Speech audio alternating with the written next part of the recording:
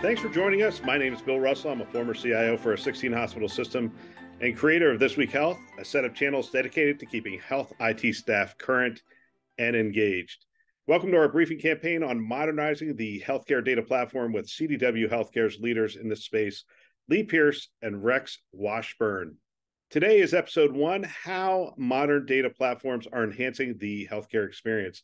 This podcast series is going to culminate with an excellent webinar panel discussion with experts talking about how to modernize your healthcare data platform, the right fit for every unique health system. That's going to be on Wednesday, December 7th check out thisweekhealth.com slash webinars and click on the link to go ahead and register. We want to thank our sponsors, Sirius, CDW, and Health Catalyst for making this content possible. Now, on to the show. This is the first of a five part series of talking about the modern healthcare data platform and looking forward to the discussion with, with Rex and Lee Today, we're going to talk about just that whole sentence there speed to outcomes and value for your healthcare data platform. Lee, let's start with you. Outcomes that healthcare cares about. What are some of those outcomes that healthcare cares about? Yeah, usually when we talk about outcomes that data and analytics should should deliver and ultimately a modern data platform should deliver. We look at the Institute for Healthcare Improvements and their quadruple aim and that is better care, lower cost, better patient experience, and better clinician experience. If you think about how data is going to be used to, to really improve any of those four elements, those are the outcomes and ultimately the value that healthcare organizations are going after. Most everything, every project that is going to need data can map back to one of those. And if you stay focused on those, and you're always looking for what is the real value that uh, that we're going after related to changing a clinical or business process it should map back to one of those four elements of the of IHI's quadruple aim yeah Rex I want to come to you to talk about speed a little bit the pandemic showed that we can move fast yep. IT IT can move fast but in this data space man we've seen some real advances give us an idea of speed to value. How are we seeing speed to value, and what is that conversation about? So I think speed to value is what I'm seeing is healthcare organizations are embracing cloud multi-cloud and all the native tool SaaS offerings that they bring to bear. So that automatically speeds things up compared to the way the more legacy data platforms we used to go we used to go after. Also, the technology has just changed so radically. So the higher speed data processing platforms, all three clouds plus a handful of extra vendors have them. We have data virtualization, data fabric mm-hmm. coming about so that we can actually unify data faster. And then ML is making our lives a lot easier. So tasks that took a lot longer and a lot more effort, everything from how do I pull data together to how do I govern data? I mean, ML is showing up in the tooling in the clouds in all cases. So that it's the old buy versus build. And I think right now we're we're seeing that embracing these modern vendors and the modularity of the modern data stack or modern data platform is really what's driving that speed to value. So we're, we're not we're not building these anymore. We're not going into the data center and, and loading these things up. Or is all of it cloud, or is it is it sort of a hybrid of both? It can, it can be hybrid. I mean, it's really it's what is the use case? What is uh, your infrastructure going to support? What are your teams going to support? What are from a cost perspective? Cloud is not always cheapest, right? So we have to sort of balance those elements out. But usually, what I'm seeing is it's a range now from multi-cloud, and that is, you know, everything from the all the different SaaS vendors that are out there that are just pervasive, from CRMs, uh, other platforms, the EHRs, all the way through. I need to have a set of data on premise, and I'm but I'm going to unify that and rest it in a cloud-based platform. So it's the full range, but you know you can get started so much faster now it's literally a I have a cloud subscription. I use automation to configure that entire cloud through Terraform or whatnot. and then I start building you leveraging cloud native services to start uh, landing my data and analyzing it on day five, right? Have the speed now to be able to get a modern data platform built out in a matter of weeks instead of the months and sometimes years it took in live with legacy platforms. So that is the beauty of the, of the cloud. With your credit mm-hmm. card and uh, internet connection, you could you could be off to the races.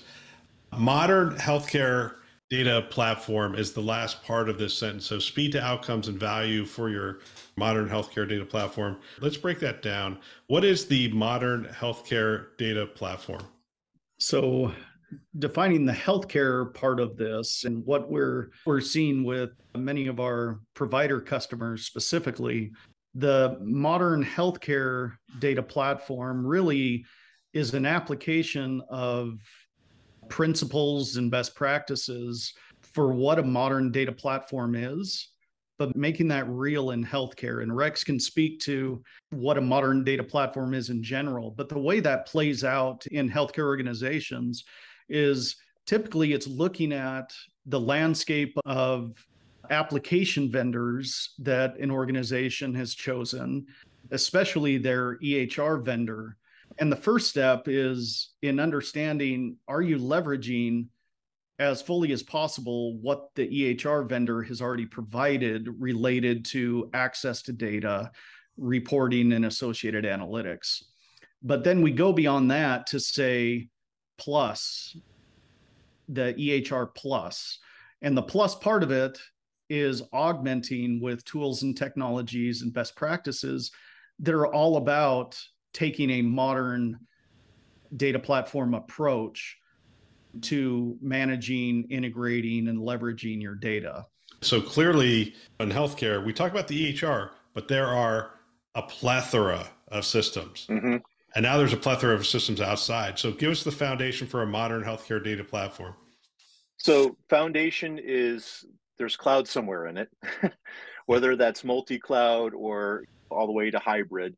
But we need that for the agility and speed. The other elements are are really the the modularity of it. So we want to be able to bring best of breed vendors in and then be able to swap them out, right? So if we're not seeing the performance or the management costs or or whatnot of a platform or a tool within the stack, we need to be able to swap that out, and we need to be able to do it without a high exit tax. So if I think of some of the older monolithic technologies, extracting ourselves from them could cost a lot, right? So I need to be able to swap things in and out in as agile a way as possible based upon the need. And if I acquire a new hospital or a new clinic or whatnot, and they have a better technology, I need to be able to integrate that faster than ever before.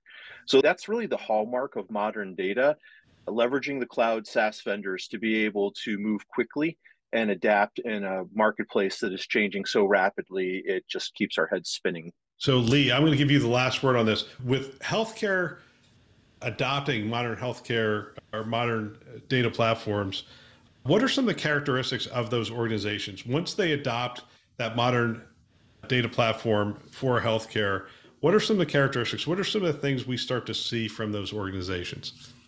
One of the key things that you see is being able to tie value to a specific clinical or business process.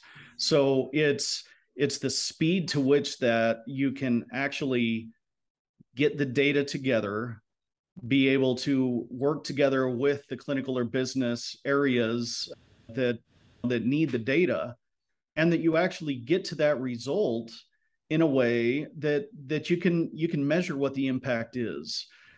That that in the end is a hallmark of a mature data approach as well as the use of what comes out of that is can you actually measure the results from a clinical or financial perspective and just the ability to do that quicker and quicker to be able to iterate quicker and quicker than we ever were able to previously. It's not it's not months at a time that you come up with an idea and then you can get the outcome.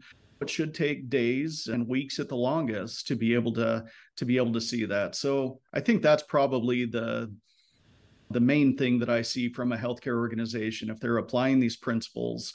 And there's a lot that has to come along with that, but that's that's the outcome. That's your ability that you can measure that, and it and you can do that quicker across more areas than you were able to previously.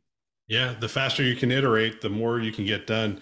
We're going to break this down in the next couple of episodes. We're going to talk about leveraging best practices, understanding data fabric and virtualization. We're going to talk about the data quality challenges, and we're going to talk about data governance as well. So, really look forward to the conversation as we move forward. Rex and Lee, thank you. Thanks for a great thank conversation. You. Look forward to uh, look forward to more. Thanks, Bill. Yeah, definitely. What a great discussion. I want to thank our sponsors for today, Sirius, CDW, and Health Catalyst for investing in our mission to develop the next generation of health leaders. Don't forget that this whole series ends with a great webinar on Wednesday, December 7th. Lee Pierce and Rex Washburn will be joining us along with Jared Nunez, Executive Director, Informatics and Analytics at Memorial Care. We're going to take this discussion one step further by including you and your questions. So go ahead and register at thisweekhealth.com. The link is in the top right hand corner. And don't forget to drop your questions in the form so we can make sure to cover it in the webinar. Looking forward to that discussion. Thanks for listening. That's all for now.